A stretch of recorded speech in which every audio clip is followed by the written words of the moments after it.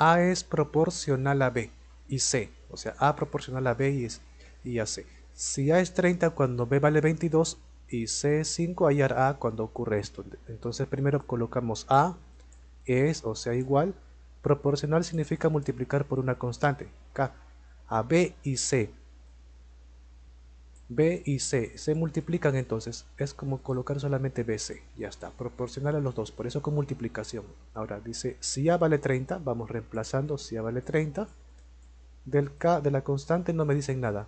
Cuando B vale 22, en vez de B ponemos entonces 22 por el C que vale 5. Hallar A dice, ¿verdad? Entonces, entonces, ¿cómo se halla la incógnita? Bien, la incógnita lo hallamos solamente despejando.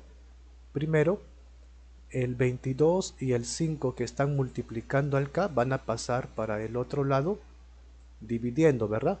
Porque el que multiplica, los que multiplican pasan a dividir al otro lado. Sería entonces acá 30 entre 22 por 5. Justo así. Ya está. Y acá se queda solamente K. 30 se puede simplificar con el 22, ¿verdad?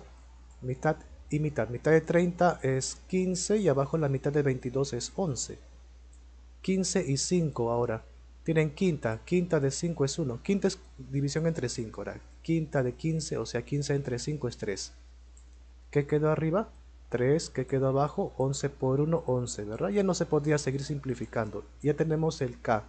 Ahora, la pregunta, hallar A cuando B valga 7 y C valga 4, hallar A. El K ya lo tenemos, lo hemos hallado, vale 3 entre 11. Ahora cuando B valga, 7, o sea, ahora 7 por acá. Y C valga 4 por acá. Entonces vemos que hay multiplicación, ¿verdad? Cuando hay multiplicación esta raya se puede prolongar.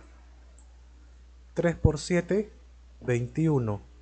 21 por 4, esto resultaría 84 entre 11. Y esta es la respuesta. Ojo, acá no había ningún número arriba que se pueda simplificar con el 11. Por eso al multiplicar, acá termina. Esta sería la respuesta.